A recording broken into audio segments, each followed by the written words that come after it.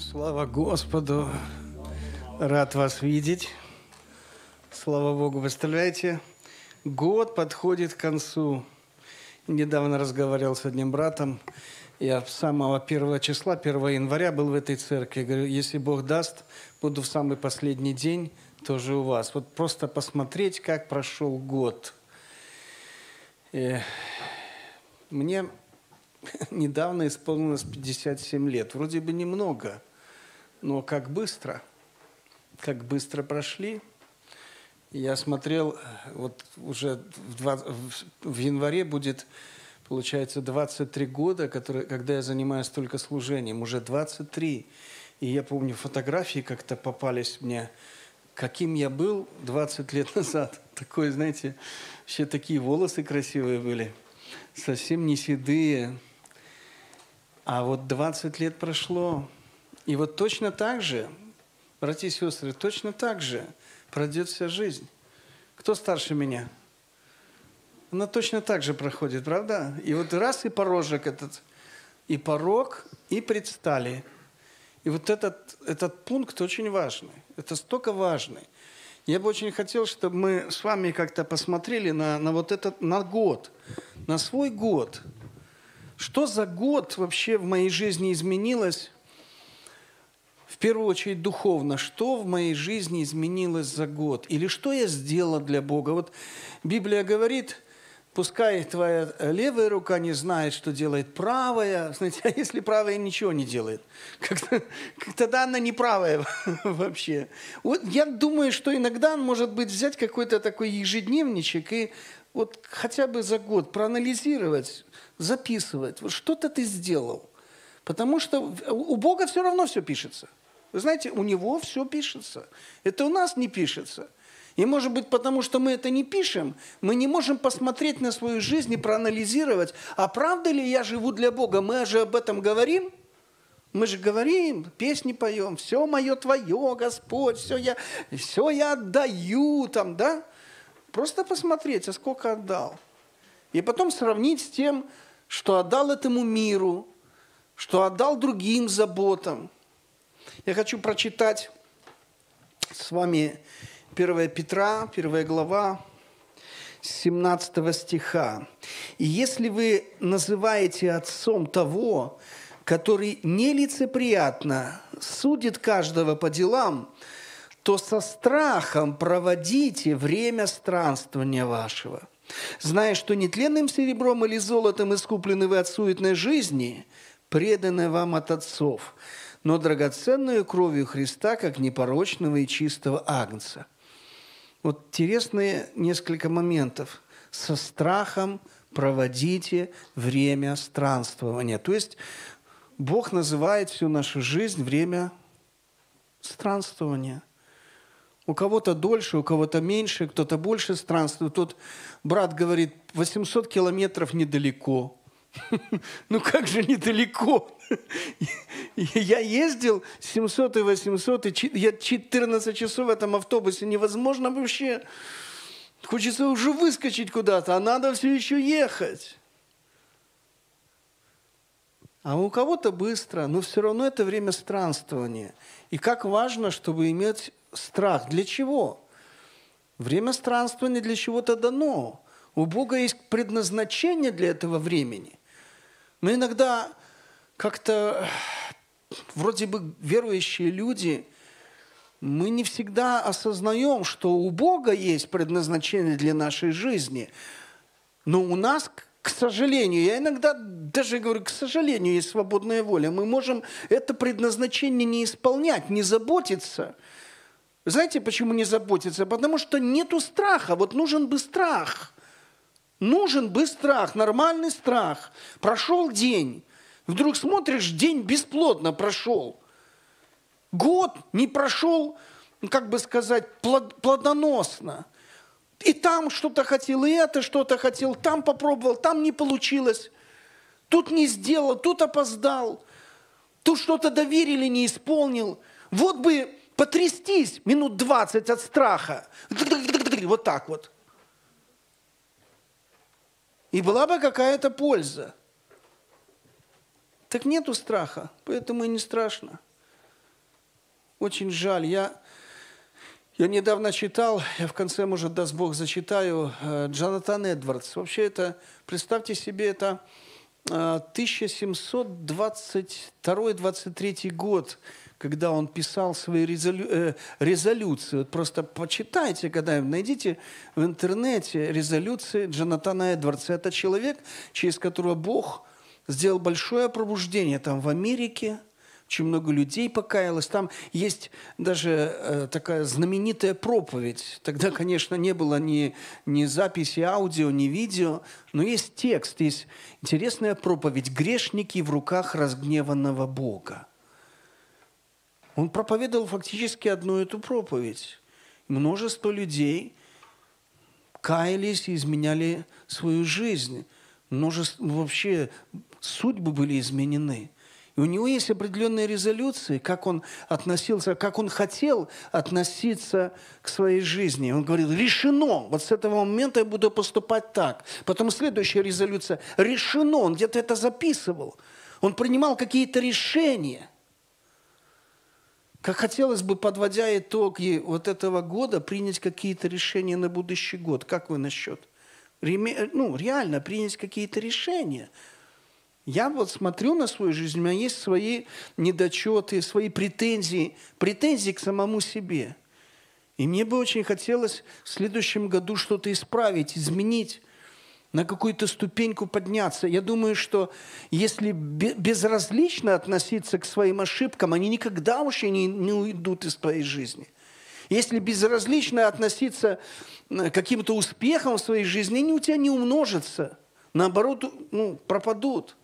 Здесь написано, вы искуплены от суетной жизни, преданы нам от отцов. Слышите, как интересно.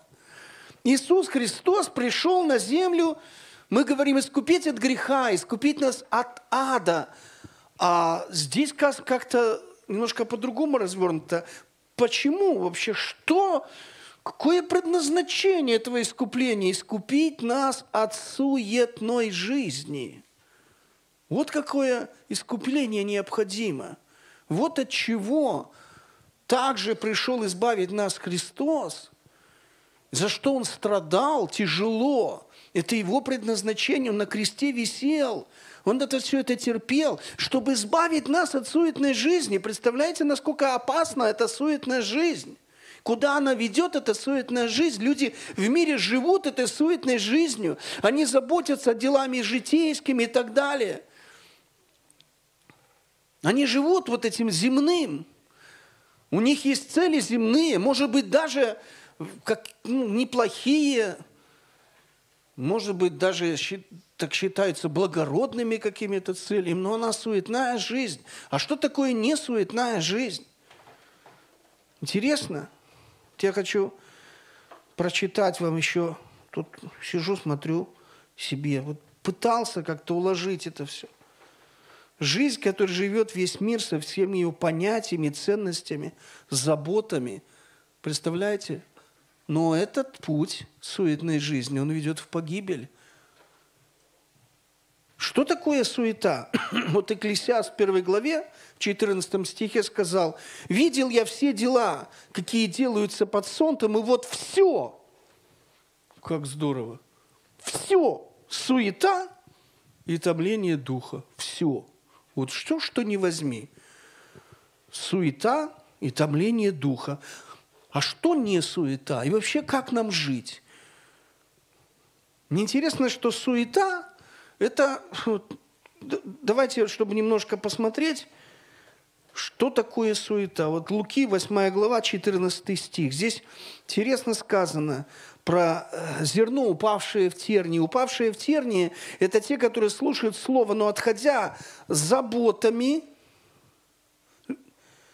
заботами, богатством и наслаждениями житейскими подавляются и не приносят плода. То есть суетная жизнь – это какие-то какие дела – это то, куда мы себя вкладываем, но это не приносит плода. То есть бесплодная жизнь, о каком плоде идет речь? Нужно ли нам заботиться о плоде? Конечно, надо заботиться. Потому что ветка, которая не приносит плод, что она происходит с ней? Ее обязательно отрежут. И когда ты не, не видишь в своей жизни плода, надо бы задуматься. Когда-то я озадачился, что через меня никто не покаялся – я 7 лет был верующий, в 99, в 99 году мне Бог как бы вот стукнул под семечку определенными событиями, я посмотрел, я не увидел за 7 лет ни одного человека, который через меня не просто услышал, не просто даже со мной молился, а чья жизнь изменилась, кто стал реальным членом церкви, чтобы я увидел, что в нем Бог. То есть я не увидел этого плода за 7 лет ни одного, в том числе в своих родных. И мне стало страшно. Вот как хорошо, когда, что становится страшно. Потому что Библия говорит, кто пребывает во мне, и я в нем, тот приносит много плода. А если нету плода, да вот ты знаешь, брат, плод – это вот любовь, плод – это вот мир. Интересно, что когда говорится о бесплодной ветви, в этой же главе Господь говорит – не вы меня избрали, а я вас избрал, по-моему, 16 стих. Но чтобы вы шли, слышите, как интересно. Плод, ух ты, что со мной с голосом? Плод, который можно принести только куда-то идя. То есть, если ты никуда не идешь, этого плода принести Невозможно. Невозможно принести это плода, сидя на одном месте. Чтобы вы шли и приносили плод, надо идти. И куда же надо идти? Вот это, значит, плод – это не просто любовь, радость, мир. Знаете, вот просто э, мы обманываемся, люди обманывают, сами себя обманывают сами себя обманывают. Знаешь, вот плод – это любовь. Увеличилась любовь, как ты ее размеришь, что она увеличилась? Терпение твое увеличилось? Как это со стороны? Кто не... Может, со стороны надо спрашивать, братья и сестры там, или дорогие родные, муж или жена, вот за последний год у меня плод какой-нибудь вырос, терпение там – ну как вообще определить? А вот когда кто-то через тебя покаялся, когда какое-то служение совершилось, легко увидеть плод. И по- по-другому легко увидеть бесплодие. А так как люди себя обманывают, знаешь, это просто нечто внутреннее должно расти. Я разговаривал со своими детьми, мы 25-го такой, по инициативе детей, мы собрались как-то семьей, и мне Саша, э, ну, папа, э, скажи какое-нибудь слово, так удивительно, попросили меня проповедовать. Ну, я я, конечно, готовился. Я сказал, ребята, мы можем переживать за наши недостатки, мы можем переживать за наши какие-то э, устройства или неустройства в жизни. Я свидетельствовал своим детям, они, в принципе, видят нашу жизнь. Я говорю, есть одна вещь, которая гарантирует то, что Дух Святой будет тобой заниматься – что Бог будет заинтересован, чтобы ты слышал голос Духа Святого. Слышите? Мы говорим о том, что нам надо слышать Духа Святого. А почему многие этого не слышат или не понимают, а как услышать? Иногда даже прилагают усилия и не слышат. Почему? Потому что голос Духа Святого звучит только там, где это нужно Богу. Послушайте, очень интересный момент. Это должно быть нужно Богу, чтобы ты услышал. Мы всегда как-то хотим для себя. Господи, дай мне услышать, купить эту машину или не купить. Господи, дай мне услышать, вот устроиться на эту работу или не устроиться. Вот иногда люди хотят, ну, каким-то гаданием заниматься, вот правильно угадать с помощью Бога, как лучше построить свою земную жизнь. Я не уверен, что Бог будет говорить в этом случае.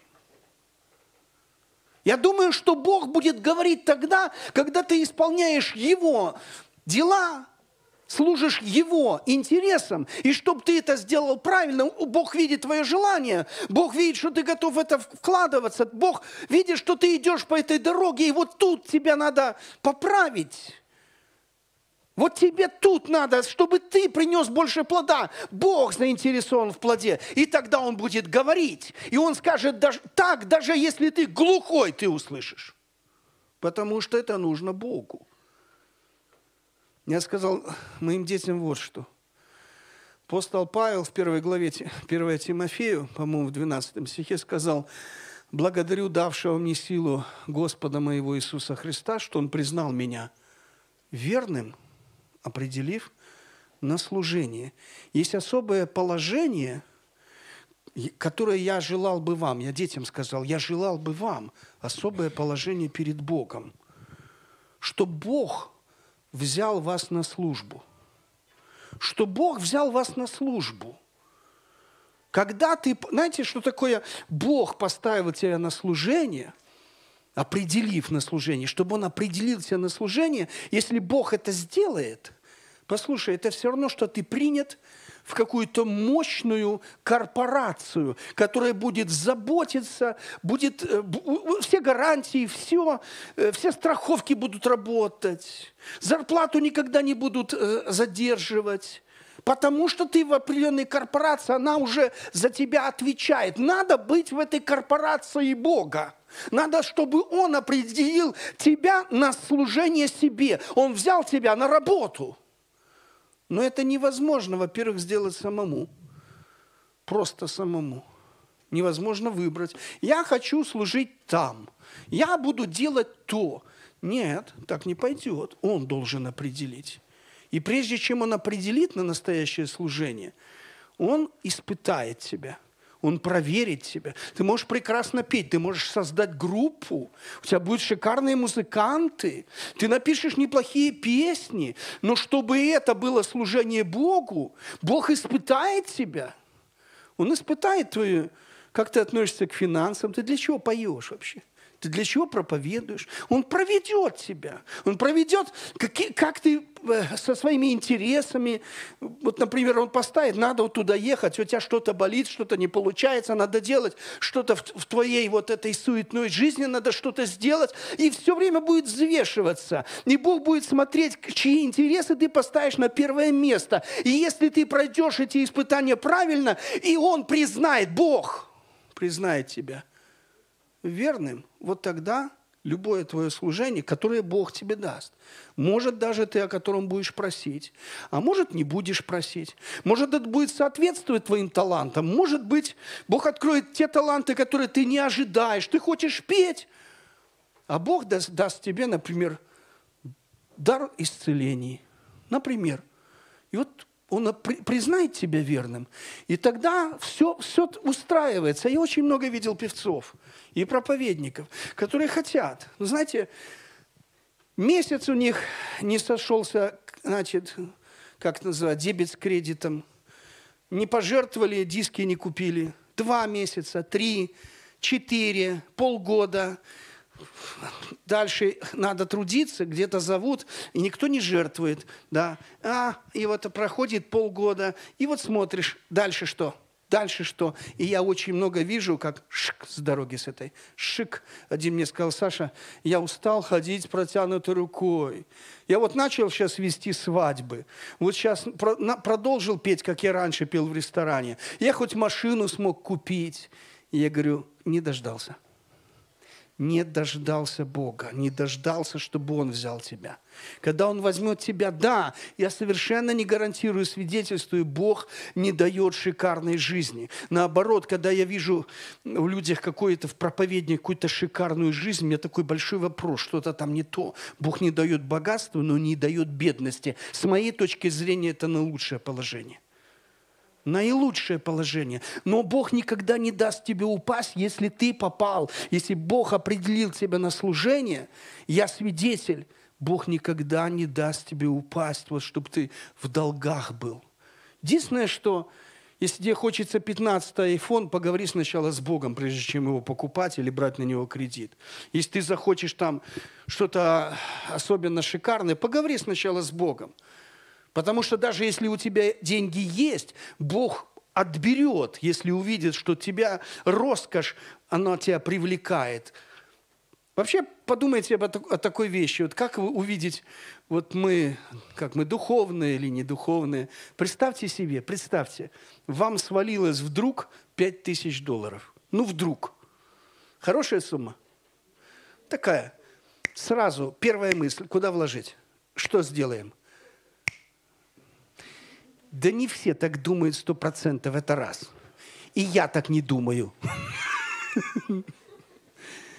Но все равно, вот в том, когда свалилось, вот свалилось, там есть что сделать для других, для, ну, для духовных целей? Там есть или нет?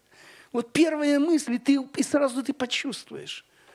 Сразу ты почувствуешь. Вот почувствуешь, очень хорошо, когда сразу всплывет, да, конечно, всплывет, и там надо ремонт, и то, и это, и вот это. Но есть вещи, которые очень хотелось бы, чтобы были лучше – очень хотелось бы, чтобы какая-то духовная сторона, она лучше, то есть кому-то помочь. Есть вещи, мы не можем помочь кому-то. Вот просто стоишь с опущенными руками, видишь у человека проблемы и не знаешь, хотелось бы помочь. Хотелось какому-то пастору машину купить, нема грошей. Хотелось бы еще что-то, чтобы быстрее, там где-то, даже вот в тюрьме, я помню, чтобы молитвенная комната выглядела нормально, там надо обклеить, что-то сделать. И бывает, нема грошей. Вот хотелось бы, чтобы было. Если вот это в голове есть, это уже, это уже очень классно. А если нету, если сразу, о, сразу у Таиланд бы. Зимой классно? У, Таили, у Таиланд. Господи, помоги. Хорошо, неплохо вообще. Я вот за Таиланд как раз думал. Так вот, интересный момент, просто пробегу, что, чтобы не забыть. Упавшие в терни – это те, которые слушают Слово, но отойдя заботами. Смотрите, что сказал о заботах. Филиппийцам 4.5. Что сказано про заботу? Не заботьтесь ни о чем. Но всегда открывайте про Таиланд, про все можно рассказать Богу. И про 15-й iPhone. Про все можно Богу рассказывать. Просто он либо даст тебе, либо успокоит, что тебе этого не надо. Не треба тебе этого. И главное, что он может успокоить так хорошо, что ты обрадуешься, думаешь, точно, и не надо мне. Я помню, э, один брат пришел к нему домой, и он давай мне рассказывать, как меня Бог благословил. Ты знаешь, вот эти обои, они, ты видишь, какие шикарные обои? И тут там с одной стороны подарили эти, с этой стороны эти. А вот эти двери, видишь, филенчатые, красивые, там девять дверей, такие красивые, вот из натурального. И представляешь, мне так по дешевке. И вот это, и вот это, и раздвижные стены, и все это, все это происходит. И он мне так рассказывает, и вот камнем тут обложено, знаешь, вот как-то брат бесплатно сделал, ух, как, я, я так сижу, смотрю на это, думаю, а чего у меня этого нету тоже такого вот? И меня внутри так тебе не надо. Я так посмотрел, а точно, а мне не надо. Ну, просто меня не переж... я не переживаю. Так, знаете, ну, нету такого стремления, чтобы я потом получил, Боже, как Бог. Да у меня, мне очень хочется другого. Мне хочется, это правда. Я Маша, ну, за себя сказать или за жену? За жену скажу. Машенька моя, говорит, я была у сестер, там общалась с сестрами, и одна говорит, я мечтала, Бог благословил, чтобы быть там в Европе в определенном месте. Бог благословил. Другая говорит, я так благодарю Бога, что я вот, вот хотела на Средиземное море. Она говорит, а я так посмотрела себя, о чем я мечтаю? Вот просто мечтаю. Я, говорит, мечтаю, чтобы эти тетки, которых мы вот спроваживаем, которые реабилитацию прошли, она в репцентре служит, чтобы они не упали. Говорит, вот сколько тяжело, вот они настолько это вот грех, вот они вроде целый год слушают слово, молятся тут, и вот только они вышли, и, и половина сразу и запила. Говорит, вот я мечтаю, чтобы эти тетки, она так сказала, эти тетки около 50 и больше, чтобы они вот не грешили, чтобы у них жизнь как-то ну, по-другому. И говорит, я обнаружила, она сказала, что у меня мечта такая есть. Аллилуйя. Мечта, и думаю, Господи, живу со святой женщиной, как же с ней целоваться? Святая прям, знаете. Слава Богу. Здесь интересно, вот смотрите, э, обольщение богатством. Вот интересно, желающие обогащаться, что с ними происходит? Впадают в сеть и безрассудные вредные похоти, которые погружают людей в пагубу. интересный момент. Когда есть, в общем-то, нормально, вот более-менее стабильно посмотришь, вроде бы есть, крыша над головой, хлеб до хлеба, а человеку хочется. Один мне говорит, Саша, я мечтал, моя мечта сбылась, чтобы взять машину из салона. Я так напрягся, чтобы взять ее новую, чтобы никто до меня за этой баранкой не сидел. Я говорю, какой ты красавец, вот такие мечты, супер. Молодец. Я говорю, много вложил? 35 тысяч. Молодец какой. А в Царство Божие, просто так намеком, а в Царство Божие сколько ну? Ну, посмотри, просто интересно, просто интересно. Я не хочу никого упрекать, но когда промелькнет эта жизнь, вот она промелькнет, ты предстанешь, и ты скажешь, Господи, я достиг, я вот на этой машине катался, и вот это я достиг, и третье достиг, и молодец, скажет Господь, да? Супер, тащи эту машину к нам, по золотым улицам кататься. Да неправда. Есть вещи, которые бы хотя бы наблюдать, что ты сделал для него, потому что это все время вкладывается в некую копилку. Собирайте себе сокровища на небесах. Мне отец когда-то мой сказал, Саша, я вот, говорит, как-то безалаберно живу. Мы с мамой, вот он-то сказал, живем там 30 лет, не помню, 20 лет, как-то он сказал, представляешь, если бы я даже 10 рублей каждый месяц откладывал, 10 рублей, каждый месяц, у него зарплата где-то 150, наверное, 5 тогда советских рублей было. Если бы я 10 рублей откладывал, у меня бы за год было уже 120 а за 10 лет 1200. Но мы-то, говорит, могли бы и по 50 откладывать. Мы бы новую машину купили. Представляете, интересно, откладывать, вкладывать понемногу, регулярно что-то, но не в это, а в Царство Божье.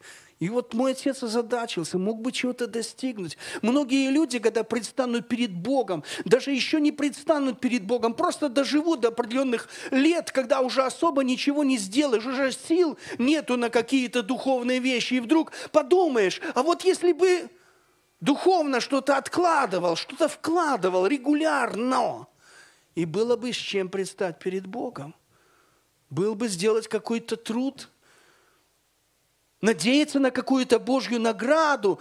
Иисус говорит, как вы можете веровать, когда друг от друга славу принимаете, а слава, которая от Бога единого, что? Не ищете. Оказывается, невозможно быть верующим. Братья и сестры, нормально быть чистолюбивым христианином, чтобы ты желал славы от Бога. Это нормально. Ненормально. Я не хочу я не хочу об этом какой-то награды особой. Мне бы только за порог, вот, за порог у царства. Вот это ненормально. Тогда вообще можешь не дойти до этого порога. Интересный момент. Чем подавляется плод? Наслаждениями житейскими. Знаете, в последнее время Господь говорит во втором, подождите, во второй Тимофея, да? 2 Тимофея 3, 3 глава. Будут люди более сластолюбивы, нежели боголюбивы. Вот будут нечто любить, любить наслаждаться, уметь наслаждаться. Мне один сказал христианин, надо уметь наслаждаться жизнью. Надо уметь. Братья и сестры, умеете? Молодцы. Наслаждаться. И недавно один салат научился делать, наслаждаюсь жизнью. Но на самом деле, когда это более чем Бог, вообще что такое суета? Да мы, мы не сможем без суеты жить. Еще раз повторяю. У нас должны быть заботы житейские, мы никуда от них не денемся. Вопрос, что стоит на первом месте и что чего подавляет. Если духом умерщвляем дела плотские, то живы будем живы будем. Значит, нужно постоянно, это наша жизнь происходит в борьбе, чтобы, чтобы эти все заботы нас не подавляли, чтобы нечто было на первом месте, чтобы мы постоянно в голове что-то имели, чтобы со страхом проводили время странствования. интересный момент. Еще раз повторю, что, братья и сестры, если Бог примет тебя на свое служение, если Он определит тебя, это самое лучшее положение, которое может быть, я вас уверяю. Он обязательно тогда будет говорить. Он обязательно подкрепит тебя, Он даст тебе все, э, все потребное для жизни и благочестия. Нужно вот к этому стремиться, и я верю, что это предназначено каждому. Абсолютно у каждого есть свое поприще, которое Бог бы хотел, чтобы ты это совершил. У каждого есть свое предназначение. Не думайте, что кто-то менее талантлив или кто-то более талантлив. Я, я много раз говорил, послушайте, если в земном мире вот имеет значение внешность, какой голос, там, какие там э, природные таланты, да, в земных поприщах это имеет, как бы сказать, ценность, то есть выше головы не прыгнешь. Вот я, я вот никак не спою, как Шаляпин, правда? Ну, не споем мы, как там еще какой-то. Даже Киркорова не перепоем. Но если ты двигаешься в духовном служении, это не зависит от твоей природы. Это не зависит от твоих каких-то задатков. Это зависит только от него. Он самого, извините, плюгавого человека может вот так поднять. Говорят, что это Джонатан Эдвардс. У него был такой голос, наверное, у него такой гнусавый был голос, неприятный был голос – Хорошо слышать проповедника, любят слушать проповедника, красивый поставленный голос, статный такой мужик с галстуком красивым. Хотелось бы, да? А он был гнусавый, может, он полугорбатый был. И говорил, говорят, что он эту проповедь, грешники в руках разгневанного Бога, он вообще по бумажке читал. Вы любите проповедников, которые по бумажке читают? Но Бог через этого человека сделал величайшее пробуждение, потому что успех в духовном поприще не зависит от человеческих способностей.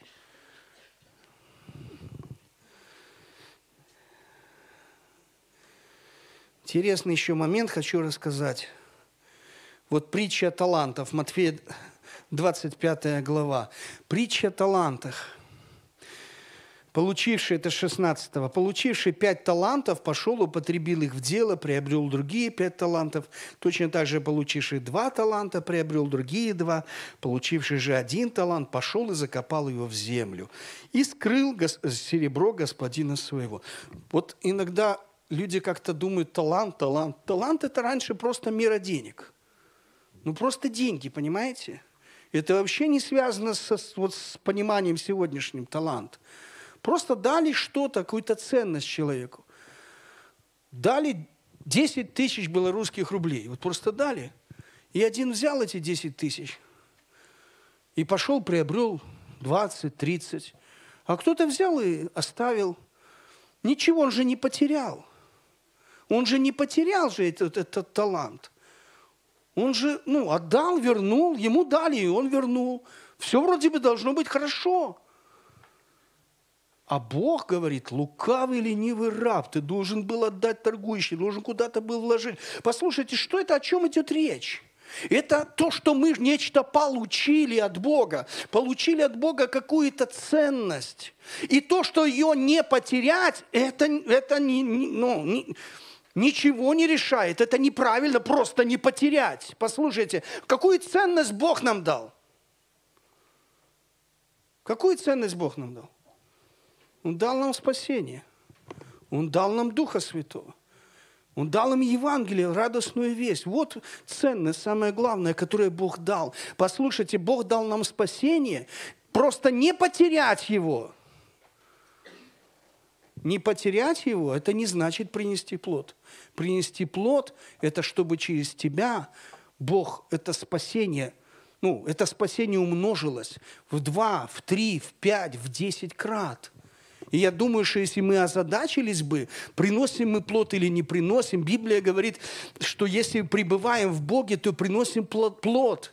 Когда я озадачил, что через меня за 7 лет никто не покаялся, я испугался, потому что это все свидетельство, это мне Бог проговорил, что это свидетельствует о том, что ты не пребываешь в Боге. Бесплодная жизнь говорит о том, что неправда, что ты идешь на небеса. Ты в Боге не пребываешь. Если ты бы пребывал, был бы плод. Как бы мы себя не обманывали, как бы добрые проповедники нас не обманывали, если у нас бесплодная жизнь, мы не пребываем во Христе. Мы подобны бесплодной ветви, которые отсекают и бросают в огонь. Поэтому конец года, братья и сестры, каждому лично, лично домой прийти, утонуться в стенку, поговорить с Богом и сказать, у меня есть плод или нет. Покажи, Боже, есть плод или нет. И тогда честно поставить себе диагноз. Я во Христе или я занимаюсь самообманом. Понимаете? Повторяю, Бог, конечно, это будет делать. Конечно, благодать. Но если ты на его пути, если это в тебе. Кстати говоря, я с этим же своим детям говорил, каким образом нужно добиваться, надо на самом деле стараться, надо ревновать, что Бог признал тебя верным и определил на служение. Что надо делать? Надо всегда открываться для Бога, если что-то происходит, если вот попадается какая-то возможность послужить Богу, что-то сделать во славу Божью, вот просто попадается возможность. Надо не отказывать, надо от этого не уклоняться. Наоборот, браться за эту, как за возможность обратить внимание Бога на себя.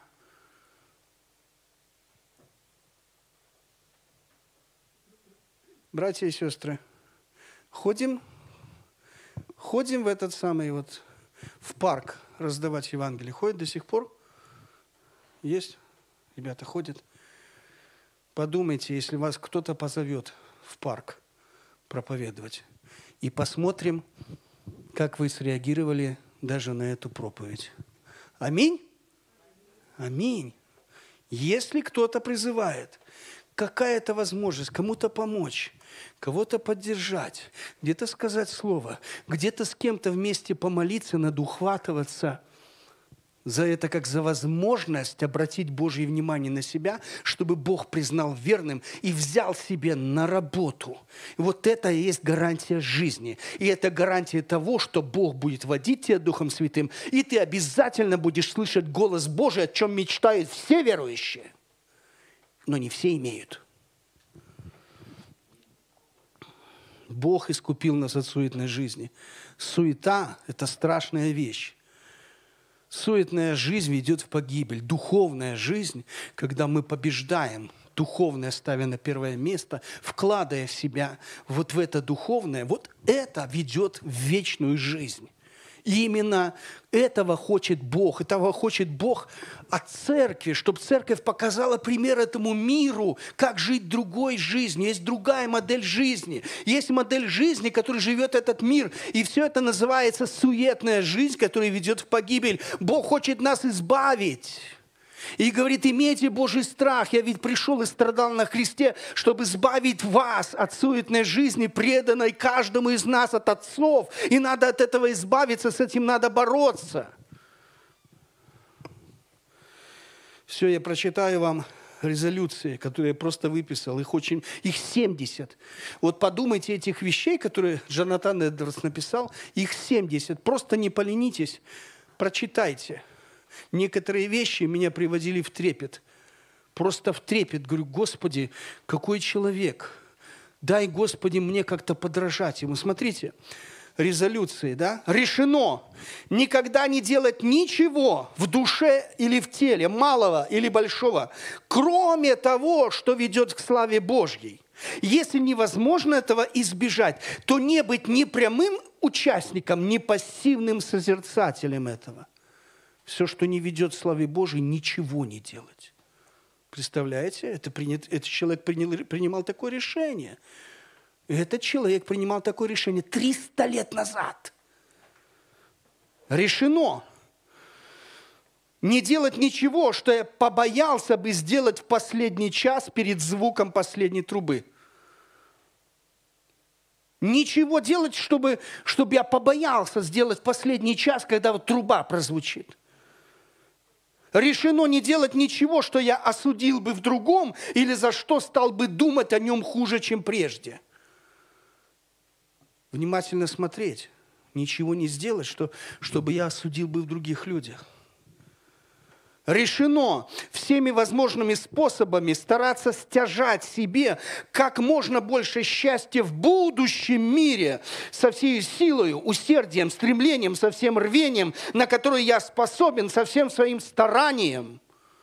Представляете? В будущей жизни – награда, счастье будущей жизни.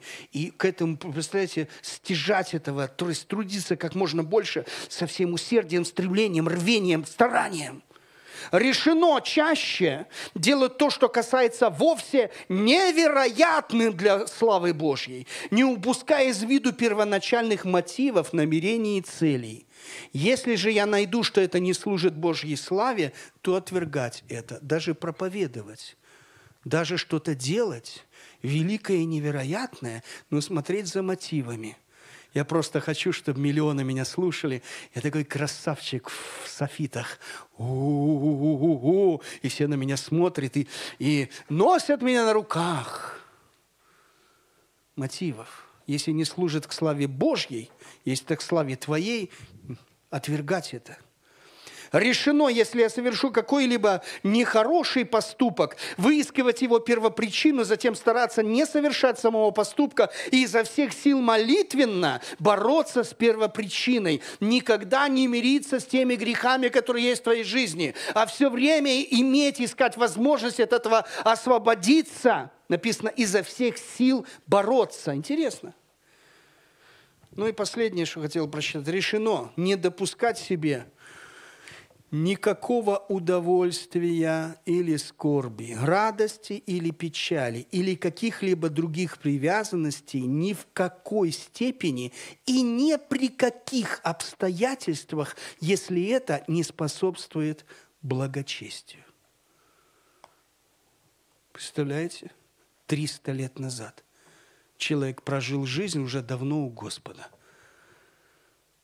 Павел сказал, подражайте мне, как я Христу.